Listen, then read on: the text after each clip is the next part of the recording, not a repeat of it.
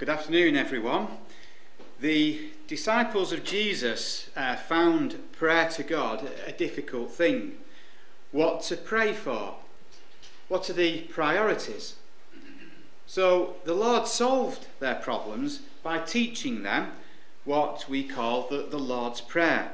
And is that what we've just read in our introductory reading from uh, Matthew chapter 6? It's established their priorities for them.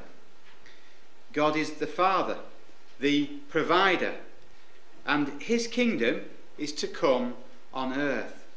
And so we read there, Thy kingdom come, thy will be done on earth as it is in heaven. For thine is the kingdom and the power and the glory forever. And for this talk this afternoon, I will focus on the coming of this kingdom. It's um, an address as, as, part of a series um, which is being looked at on um, the kingdom of God. Um, and other um, addresses will actually talk um, about the kingdom. But what I'm going to do this afternoon is just actually focus on the coming of this kingdom and for what uh, Jesus was uh, telling his disciples to pray for.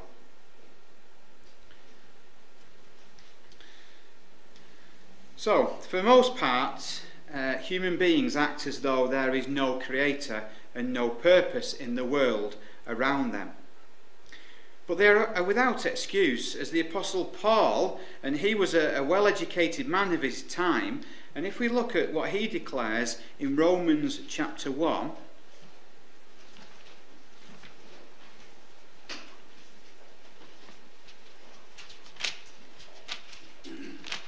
Uh, Romans chapter 1 and verse 19. Because that which may be known of God is manifest in them, for God hath showed it unto them.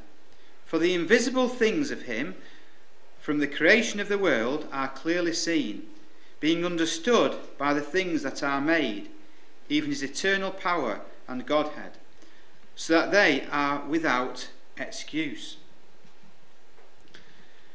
And so, if you look at the wonders of the human body, the miracles of plant life, the incredible wonders of living cells,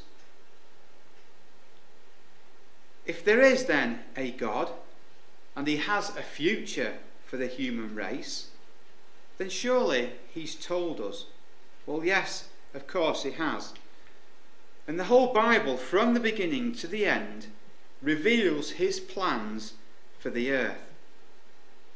He spoke to the fathers and through the prophets, and in these last days by the Son, whom he hath appointed heir of all things. And that we are told in, in Hebrews. And this is why the gospel was the centre of Christ's ministry. And if we turn to that passage there in Matthew chapter 4,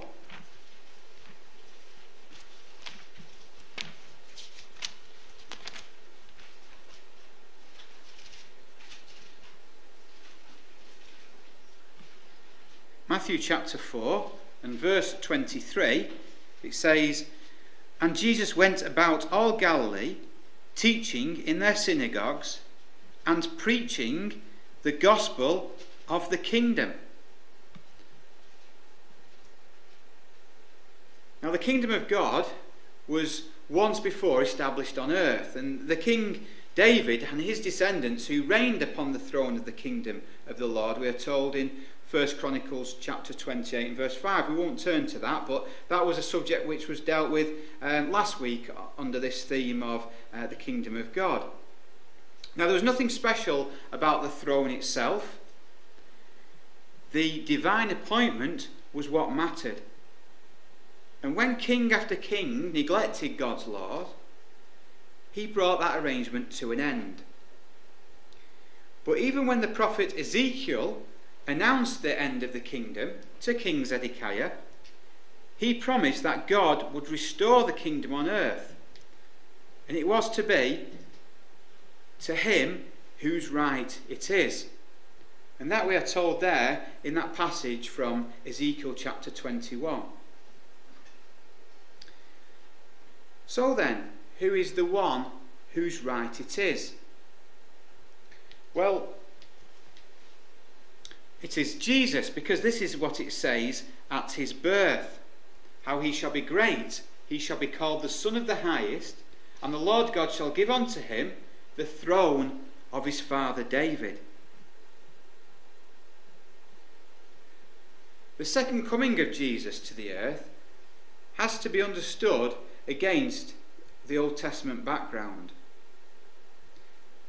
When Jesus began his public ministry by announcing the kingdom of God was at hand, if we just turn to Mark chapter 1.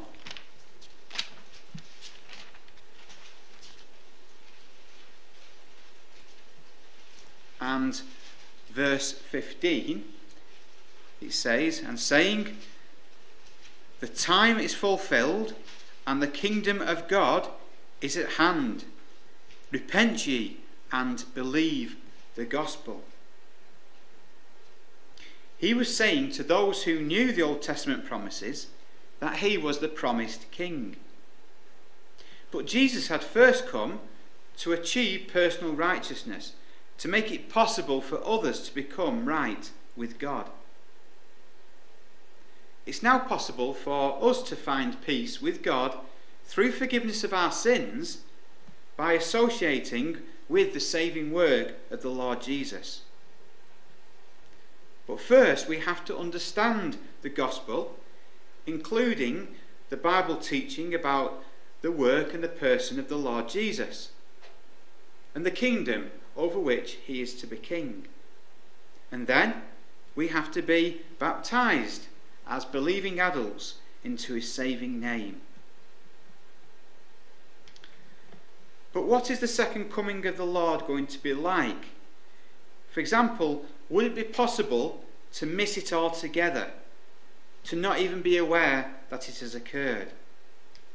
Will it be something which is visible or invisible? Will Jesus be there in person or merely just a spiritual presence? And will he come to the earth? Well, Jesus Christ rose bodily from the grave. He was not an invisible spirit creature, but he was one who could be seen and handled and held. And so if we look at Luke chapter 24, Luke's Gospel record, chapter 24, and verse 39. Here it says, Behold my hands and my feet, that it is I myself. Handle me, and see. For a spirit hath not flesh and bones, as ye see me have. And when he had thus spoken, he showed them his hands and his feet. And his body was marked by the evidence of his suffering on the cross. But he was no longer subject to the limitations of human existence. And we are told how he ascended bodily to heaven and his disciples who had seen him go were told that he would return visibly. And if we turn to that passage there in Acts chapter 1, here we're told very clearly.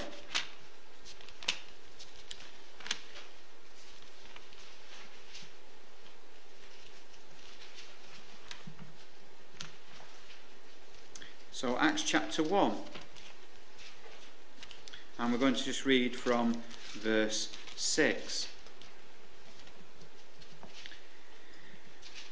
When they therefore were come together, they asked of him, saying, Lord, wilt thou at this time restore again the kingdom to Israel?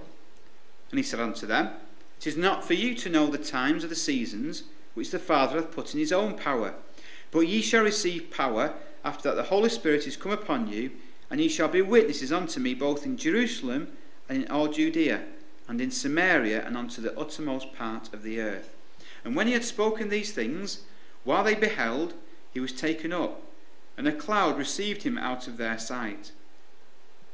And while they looked steadfastly toward heaven, as he went up, behold, two men stood by them in white apparel, which also said, Ye men of Galilee, Why stand ye gazing up into heaven? This same Jesus which is taken up from you into heaven shall so come in like manner as ye have seen him go into heaven. Now, we needn't turn to this passage, but uh, we're told in, told in Revelation chapter 1 Behold, he cometh with clouds, and every eye shall see him. So, we're told quite clearly that it's going to be a visible return of Christ. Now, we'll just turn to this passage uh, in Zechariah, uh, Zechariah chapter 12.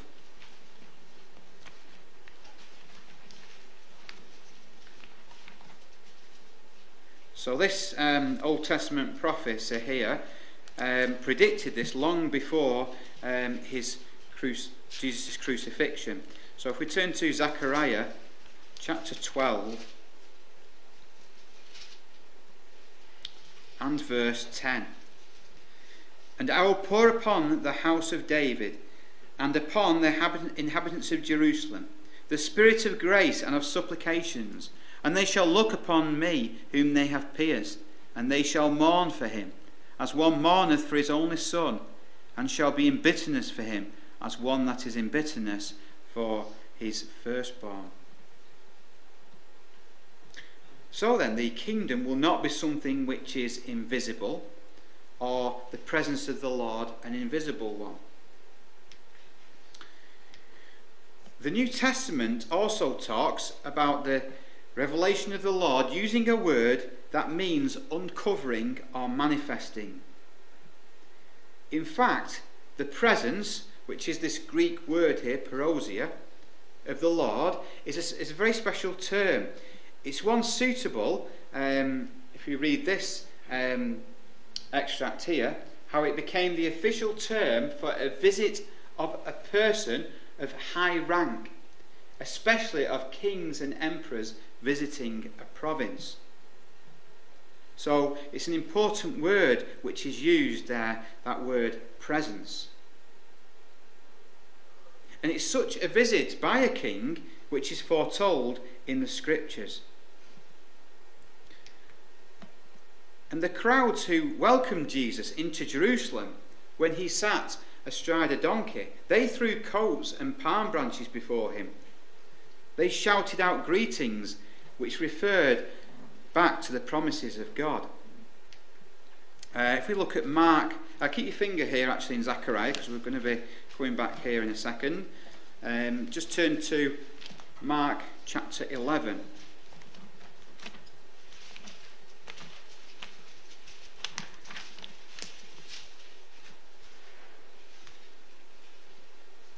Here it says, Mark chapter 11 and, and verse 10. Uh, we'll start from verse 7 actually there.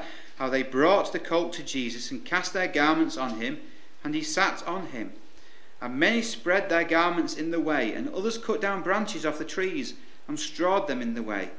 And they that went before, and they that followed, cried, saying, Hosanna! Blessed is he that cometh in the name of the Lord.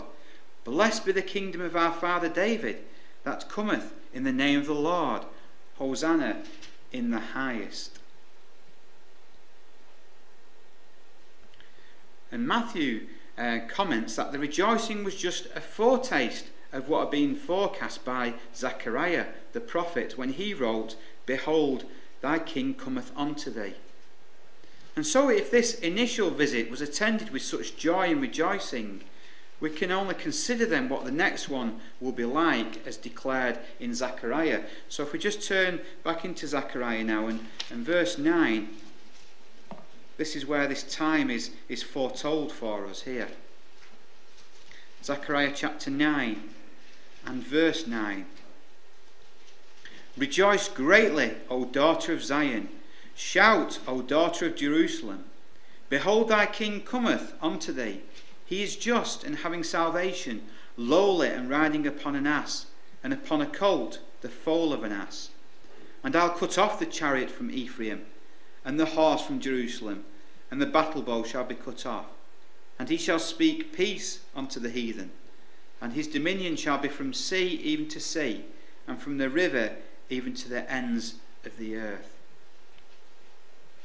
Now, this scripture here illustrates a widely used feature of Bible prophecy, and that is a joint and short term fulfillment. Because Jerusalem, as we've seen, rejoiced at the coming of Jesus, as we read there, lowly and riding upon an ass and upon a colt, the foal of an ass, just as the prophet Zechariah here said. But their joy was to be short lived, because he didn't then at that time go on to establish worldwide peace or to commence his rule from Jerusalem over a kingdom that would last forever.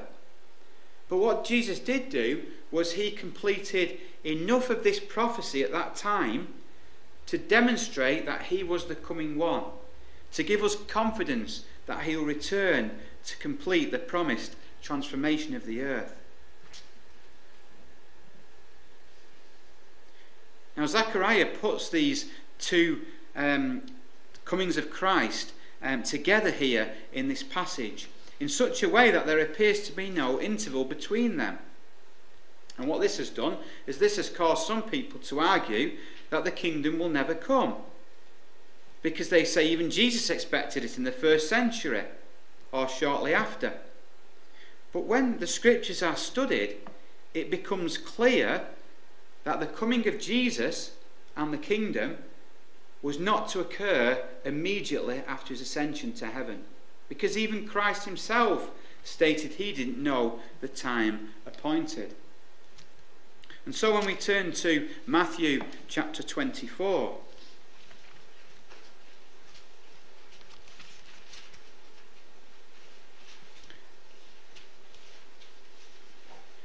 we are told there in verse 36 But of that day and hour knoweth no man, no not the angels of heaven, but my Father only. And Jesus was aware that some time was going to elapse before his second coming. And what he did is he actually told parables to indicate that his coming would not immediately appear. And so in Luke chapter 19, there we read, because they thought that the kingdom of God should immediately appear, he, he went on and, and gave this parable. And we're told there in Matthew that it was to be after a long time. So there was going to be um, a delay for those who were waiting. And so, like their Lord, his followers were to appreciate that they would not know the hour that he would come. The apostles, they too, also acknowledged that they could not know the precise time of the, this great event for which they waited. In fact, Peter warned about people who would scoff at uh, the promise of his coming. Paul was in no doubt either um, regarding uh, Christ's coming. If we look at uh, 1 Thessalonians chapter 5.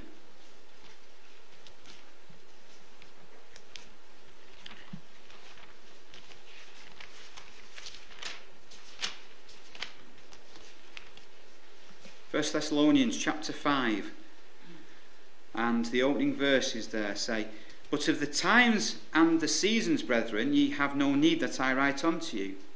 For yourselves know perfectly that the day of the Lord so cometh as a thief in the night. So notice what this verse says then. Firstly, there would be general indications available in what Paul calls times and seasons. And these would help keep the believers prepared. And then the verse continues that the day of the Lord so cometh as a thief in the night. So when the Lord comes to establish the kingdom, it will be swift, it will be sudden, and it will be unexpected. No one expects thieves to strike. But they often succeed because people overlook the dangers. And so we must be on our guard, we must be watchful, we have to be prepared, and we have to be vigilant. Because the Lord could come at any time when we least expect Him. And so, for this reason, Jesus explained what would happen before his return. He very carefully emphasized the need for watchfulness. And sitting with his disciples one day on the Mount of Olives, and this was from where he would later ascend to heaven, he gave them some general indications of what would happen prior to his coming and the end of the world. Um, if you turn to Matthew chapter 24.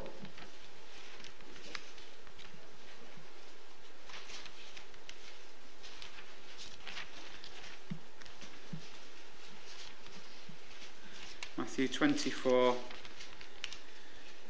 and verse 3. And as he sat upon the Mount of Olives, the disciples came unto him privately, saying, Tell us, when shall these things be? And what shall be the sign of thy coming and of the end of the world? Now, this prophecy presents again um, a challenge for us because it combines a short term prediction about the fall of Jerusalem and the destruction of the temple with a long term forecast of world events. And we have a list of um, world events which are, which are predicted, and they come for us uh, in the Gospels. We find them in, in Matthew, in Mark, and in Luke. And this isn't to be um, any sort of structured sequence that we've, we've put these uh, events up here. Um, they're in no particular order, but the things that um, are listed, they're events which show um, and, and point forward to the coming of Christ. And so we have the rise and fall, sorry, the rise of false Christianity and false Christ, we're told about. The persecution of true Christians. We're told of wars and rumours of wars, of nation against nation. We're told of earthquakes, famines, and pestilences of Jerusalem surrounded by armies. We're told of the Jewish nation being dispersed, of Jerusalem in non Jewish occupation. We're told of tribulation and distress, of signs in the sun, moon, and stars. And we're told of the powers of heaven which shall be shaken. And so, whilst we don't know the exact sequence of events, and to this day we can't know for sure when Jesus will come. In fact, when the Lord speaks to his followers about his eventual return to the earth to set up the kingdom, he focuses more on the consequence of his coming rather than the sequence of events themselves. So when he comes, he will call us to account. He'll ask us how we spent our lives. And so we read phrases in the scriptures such as take heed, be not led astray. Be not troubled. Take heed to yourselves. Preach the gospel. Be not anxious. Endure to the end. Flee. Pray. Believe not false prophets. Take heed. Look up and lift up your heads. Take heed to yourselves. Watch and be ready.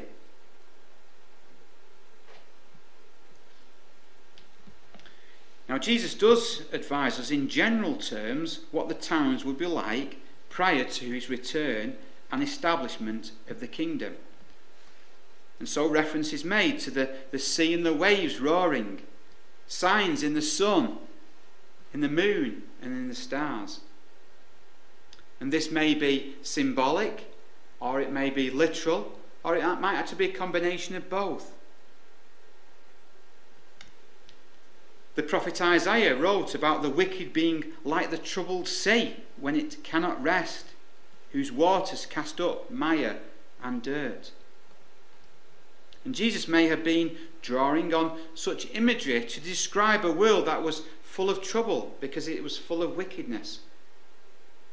He might also have been teaching us to look out for some upheaval of the physical order as well, like um, tidal waves and we've certainly seen uh, those, haven't we, in, uh, in the world. Certainly, there have been many earthquakes and, and natural disasters um, over the years, haven't there, throughout the world. Now, the Apostle Paul describes the world order as groaning and travailing in pain. If we look at Romans chapter 8,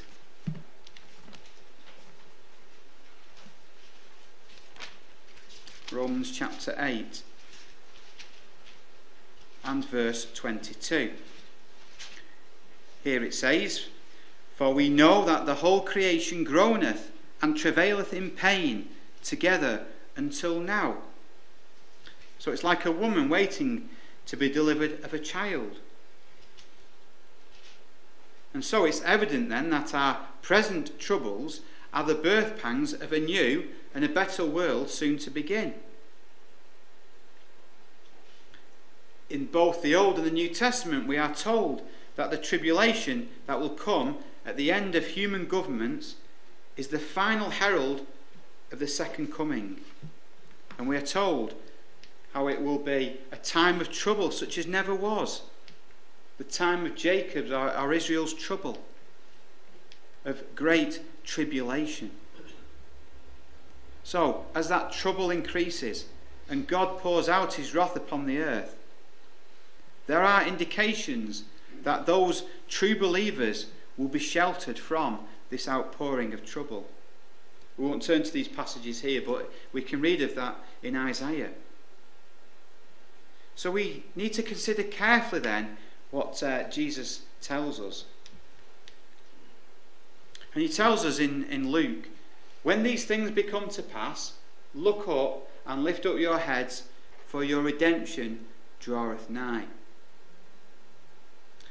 So, then, what, what are some of the signs that we have of the coming kingdom? Well, there is one great sign for us which removes all doubt concerning Christ's imminent return.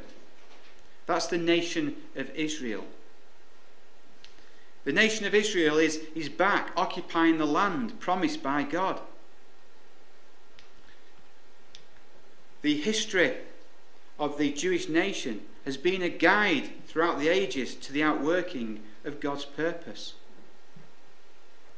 They were called as a special people because of the great promises that had been made to their fathers. They were given the right to occupy the land that we know as Israel. It was conditional on their faithful obedience to God. They were the people whose kings occupied the throne of God's kingdom on earth. And as we've said already, they forfeited these rights when, after centuries of indifference, they not only refused to accept the Lord Jesus as their Messiah, but they were actually involved with the Romans in effecting his death by crucifixion.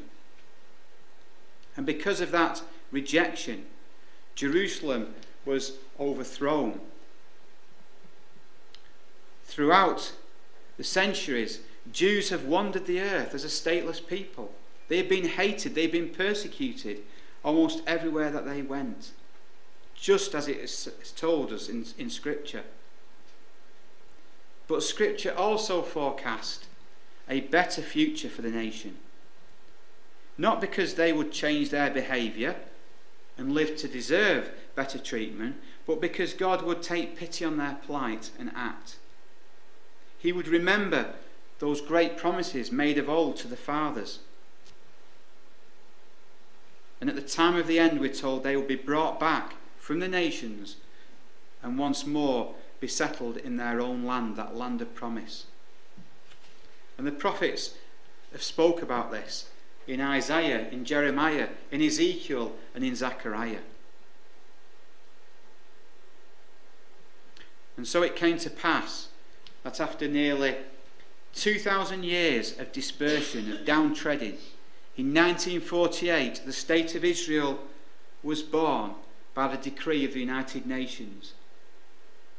In 1967, Jerusalem was repossessed by the Jews. It had taken all that time for those words of Jesus to be fulfilled. So, everything now indicates that the times of the Gentiles are rapidly drawing to a close. The kingdom is coming. This bringing together of these troublous times and the return of the Jews to the land for us removes any doubt. Because shortly Jesus will return to Jerusalem as a world ruler to reign over Israel and over all nations. And that, that's a subject that will be looked at um, from this place next Sunday, God willing. So, of all the available signs of the times given by Jesus and the prophets, the establishment of Israel as a nation is one of the clearest signs that we have and witnesses that this time of the end is now nigh at hand. So, Jerusalem is to play a significant part. Jerusalem is the, is the crossroads of the world. And every king, as we know, has a residence, a capital, a centre. And for God's kingdom, it's going to be Jerusalem. So we should watch carefully then events in Jerusalem when we look out for that coming kingdom. We know that this is going to be a superb capital. The kingdom of God is to be a world empire. Now, there is another prophecy for us which speaks of the coming kingdom. The prophet Daniel, interpreting a vision which forecast the successive empires of Babylon, of Persia, of Greece, and Rome, which were to be followed by a fragmented world of strong and weak governments, such as we see in the world today. And this would lead to the coming of Jesus who is pictured in the form of a stone which descends and crushes these rebellious nations at the time of the end. And we're told about this in, Daniel 2. The return of Jesus Christ and the takeover of the nations won't be accomplished without much resistance. And we, we have these passages which tell us about that resistance that Christ and his believers will come across from some of the nations. And we're also told what will happen about those who, who try and challenge Christ and his rule. So then, in the, in the dying moments of human governments, the powers of heaven will be shaken. Men's hearts fail them for fear. The nations will be engaged in battle around Jerusalem. And then the Lord will come unexpectedly, suddenly, in great power and glory, bringing salvation for those who have faithfully waited and prepared for this event in their lives. We're also told he will bring judgment on those who have willfully ignored those promises and that invitation of God. And we're told of that in, uh, in 2 Thessalonians chapter 1. We just to those words there. Second Thessalonians and chapter 1.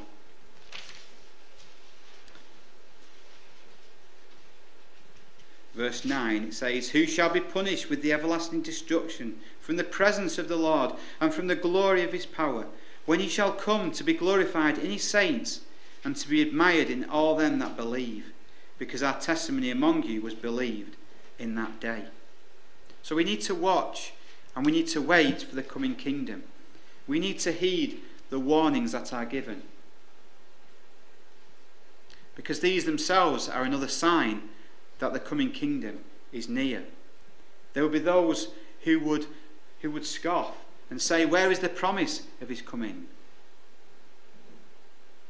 Because the passing of time might seem by some as a failure of God by man. But God, we know, is not bound by time.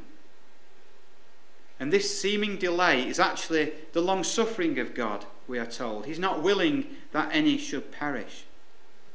And we are told that God isn't slack concerning his promise. Uh, if we turn to 2 Peter chapter 3.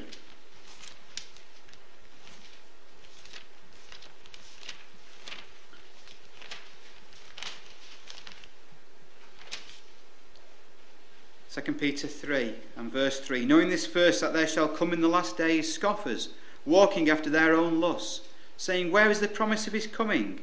For since the fathers fell asleep, all things continue as they were from the beginning of the creation. For this they willingly are ignorant of, that by the word of God the heavens were of old, and the earth standing out of the water and in the water. And then verse 8 But beloved, be not ignorant of this one thing, that one day is with the Lord as a thousand years, and a thousand years as one day. The Lord is not slack concerning his promise, as some men count slackness, but is long suffering to us ward, not willing that any should perish, but all should come to repentance. But the day of the Lord will come as a thief in the night, in the which the heavens shall pass away with a great noise, and the elements shall melt with fervent heat. The earth also and the works that are therein shall be burned up. So, as he will come as a thief in the night, so we need to be ready and waiting. And to help us with, with this, the Bible is our guidebook. It is our guidebook to the future, just as it is our handbook now for the present, because it alone is able to show us what God wants us to do. And from it, we can learn God's purpose and His promises. The first thing is to understand and believe those things that are true. We will then come to appreciate the need for obedience to God, which starts with baptism. We need to examine our lives now to ensure that we are watching and we are waiting, that we are prepared for the coming kingdom. So I encourage you to please read your Bible and to pray with all your heart Thy kingdom come, thy will be done on earth as it is in heaven.